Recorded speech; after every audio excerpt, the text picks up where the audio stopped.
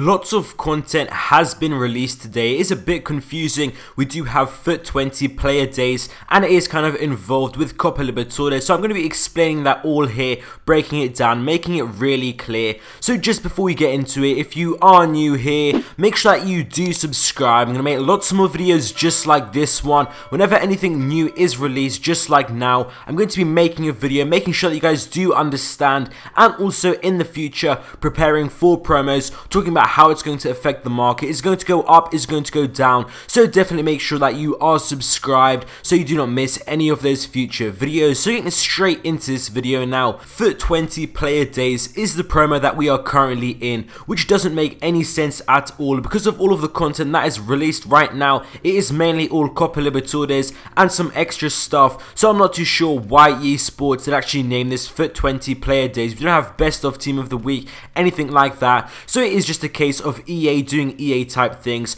unexplainable from us, but we just have to continue and pretend everything is okay. So firstly, when you log into FUT, everyone has actually received a free pack depending on how many days you have logged in since the start of FIFA. Let me know down in the comments below which pack you actually got. Some people did actually get the wrong one. I believe they actually logged in like loads of times every single day. It happened to me as well. Only got a rare mega pack and should have actually got the ultimate pack, but no one really packed anything anything good anyways, so we didn't really lose out anything there. So a scheme actually to get people to open more packs by EA Sports. All packs bought with coins are half price now, and there is also the buy one get one free, so two for one packs also. So when you of course are going to be buying a pack, you do actually get another one back there. I do believe that only works with FIFA points. None of us open packs anyways though, so it's not really relevant to us. So there is actually a few different Copa Libertadores card types, and I'm going to be explaining that now. We do have CONMEBOL Libertadores, that is the same thing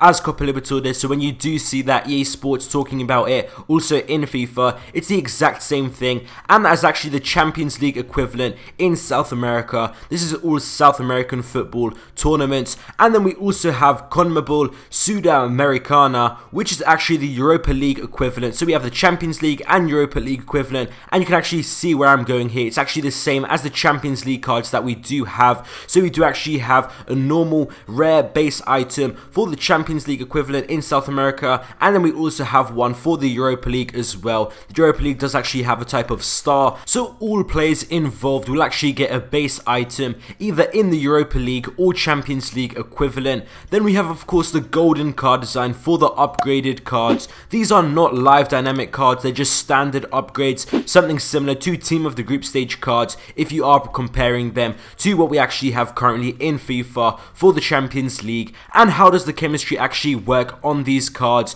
Any players in existing leagues, for example, Tevez will actually be in the same league, the Superliga Argentina, and for the players that are currently not already in FIFA will actually be linkable in their own way. They will be split into either the Champions League or Europa League and then that is how you're actually going to link them together. So it is an interesting concept. All these cards are actually extremely cheap so it would be cool if you actually made a team and tried it out for fun if that is something you are into. A lot of people are going to try out PES. I'm actually going to have a few videos on that to actually help you guys out. Some requests on that. So it's definitely going to be coming very soon. Thank you guys for watching this video. I hope you guys enjoyed and I'll see you next time.